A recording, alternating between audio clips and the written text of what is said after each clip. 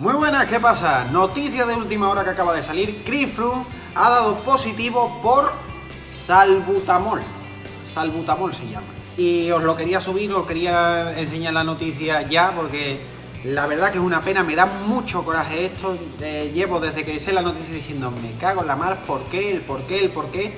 Luego he leído un poquito más sobre la noticia y hay que tener un poco de cautela y un poco de calma aún porque no va a tener una sanción como quizás eh, por tomar otra sustancia y demás. Os voy a explicar un poquito, os voy a, explicar un poco la noticia y los comentarios un poquito.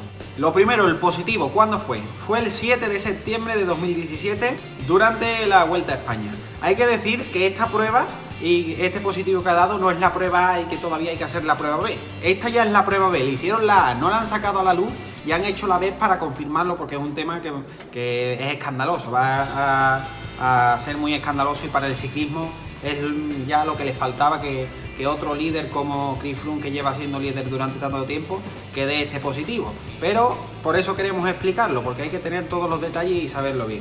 Hay que decir que el salbutamol, este, que lo utilizan sobre todo las personas asmáticas, es como un inhalador que, es como lo usa Froome. Eh, y está permitido usarse, pero la dosis máxima que se puede permitir es de un miligramo o un gramo, se puede decir. Y Froome ha superado en esto por muchísimo. No lo he leído cuánto, pero que era un montonazo. No he leído cuánto tenía, pero en todos lados pone que ha sido mucho más de las dosis permitidas, así que por eso va a tener la sanción. Esta sustancia lo que es un broncodilatador, lo que hace, por decirlo así, abrir un poco más las vías para que puedan respirar mejor. ¿Qué pasa? Y por lo que resulta raro este caso es porque eh, aunque tú te tomes un gramo o mil miligramos o tres mil miligramos, las vías no se te van a abrir más. También he leído por ahí que el, tomarlo en una dosis muy alta tiene efectos anabolizantes, así que ahí sí podemos decir que tiene un poquito de mejora. Pero no en el tema de que eh, las vías se te abran más por tomar más cantidad, en eso no, no tiene ningún problema, pero sí en los efectos anabolizantes que puede tener en dosis muy altas. Que eso será lo que habrá que ver las dosis, dependiendo de ahí pues le pondrán una sanción u otra. El comunicado de la UCI ha sido este. Dice, el análisis de la muestra B confirmó el resultado de la muestra del ciclista.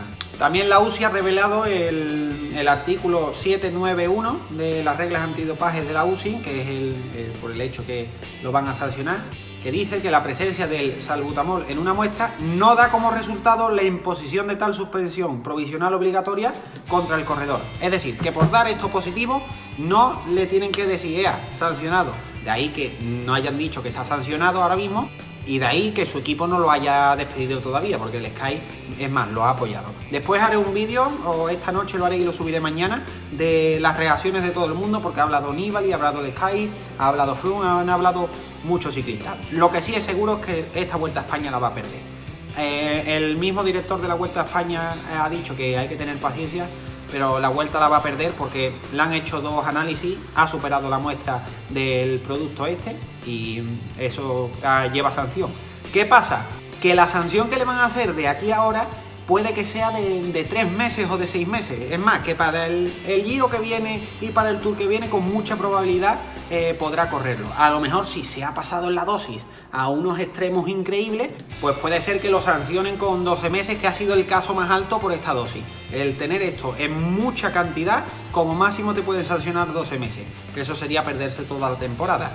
Pero en este caso, al parecer lo que van a hacer es de 3 a 6 meses, aunque todavía está por ver. Os iré subiendo vídeos, por supuesto, cada vez que lo veamos.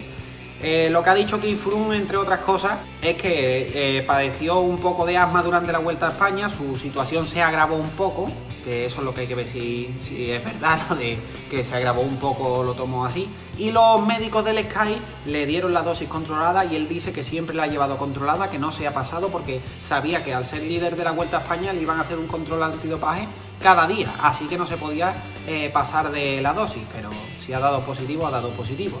Eso es lo que hay que esperar. Todo está un poco ahora mismo en el aire, hay que enterarse bien, hay que saber qué noticias son reales y cuáles no. Yo he intentado deciros las que pienso que son reales por las que he comprobado en varios sitios. Pero bueno, esta es la noticia, es una pena. La verdad es que a mí me da muchísimo coraje porque eh, lo hemos hablado en muchos otros vídeos y diciendo que mientras no se demuestre lo contrario hay que darle esa presunción de inocencia, que es algo que en el ciclismo falla mucho. Yo por lo menos quiero esperar, igual que todos los organismos han dicho que todavía hay que ser paciente y hay que tener cautela porque todavía hay que ver muchas cosas y se tienen que, aclarar muchos detalles. Y como os he dicho, voy a subir vídeos ahora de, esta noticia y os voy a tener al tanto, así que no olvidéis suscribirse, darle también al like al vídeo para, para apoyarme que yo vea que os ha gustado, también compartir el vídeo para que se entere todo el mundo y tengan una información lo más veraz posible, que es lo que intento, hacer vídeos que sean realistas, que sean de verdad y no falsos o contando cosas que yo creo ni demás, yo intento ir a la noticia. Y como os he dicho, voy a subir el vídeo de qué es la sustancia que se ha tomado Froome, las reacciones de algunos ciclistas, porque han hablado algunos ciclistas, voy a hacer un par de comentarios, cómo queda el calendario, qué es lo que va a poder correr, qué es lo que va a poder correr, por eso eh, suscribirse porque vais a estar bien informados si estáis suscritos a mi canal. Quiero que me pongáis en los comentarios, como siempre, lo que ustedes pensáis, siempre con educación y respeto, por favor, y más en este tema, que sé que hay mucha gente con ganas de que Froome esté dopado.